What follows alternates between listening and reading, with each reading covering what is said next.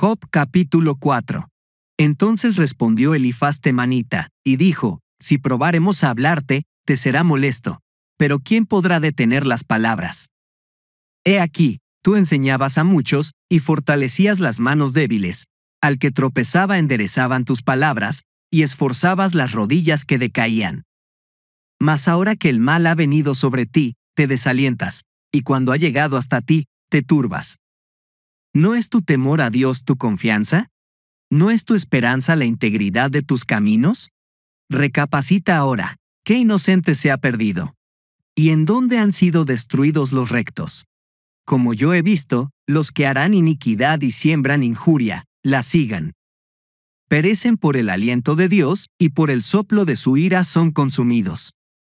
Los rugidos del león y los bramidos del rugiente, y los dientes de los leoncillos son quebrantados. El león viejo perece por falta de presa, y los hijos de la leona se dispersan. El asunto también me era a mí oculto, mas mi oído ha percibido algo de ello.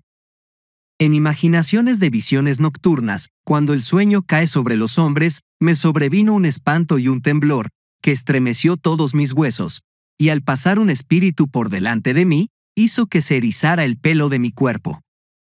Paróse delante de mis ojos un fantasma, cuyo rostro yo no conocí, y quedo, oí que decía, ¿será el hombre más justo que Dios? ¿Será el varón más limpio que el que lo hizo? He aquí, en sus siervos no confía, y notó necedad en sus ángeles, cuanto más en los que habitan en casas de barro, cuyos cimientos están en el polvo, y que serán quebrantados por la polilla.